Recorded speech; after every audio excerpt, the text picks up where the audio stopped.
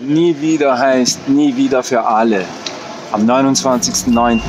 Liste Gaza wählen. Deine Stimme gegen den Völkermord.